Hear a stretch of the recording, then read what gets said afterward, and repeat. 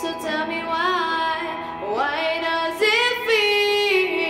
feel like without